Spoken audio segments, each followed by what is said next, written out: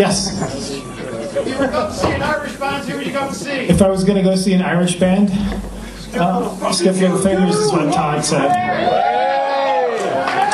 It's the, um, I, I cannot explain why I'm blanking out on the name, but I see Phil Lynott's band called. Thank you, Phil Lindsay. Yeah. yeah. Huh? What?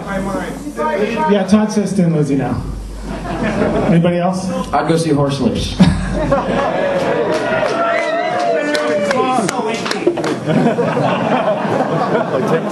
I'm just old. Or shite. Is that what you said? As well. As well, also. There was a now this is actually this might be a good place to ask this. In about 1983, maybe 82. No, 1981. There was a band that put out one single. They had a seven-inch single that I've stumbled across in Chicago, and it's fucking awesome. The band is called Secret Rocker. They're an Irish band, and they put out one seven-inch single. The song is called Rock Drill. Does anybody know this single?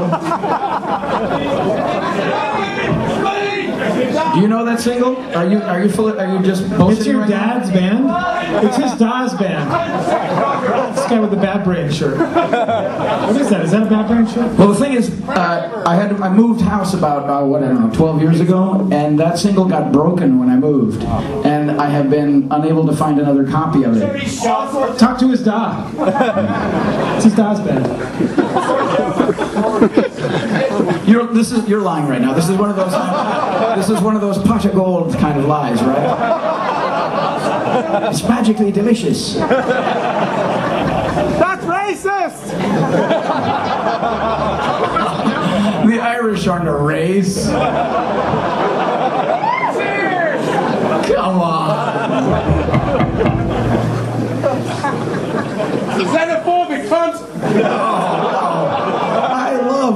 Races, but come on, Irish people, you're not, you're not a race. You're just like a regular, regular old white people. You're just regular, regular white people. A little bit, a little bit redder than, a little bit redder in the nose than most.